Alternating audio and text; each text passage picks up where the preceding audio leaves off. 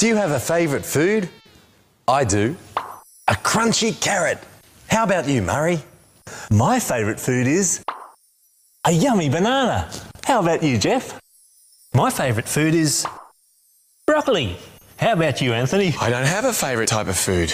What? What? What? You have no favourite food? No. I love all foods.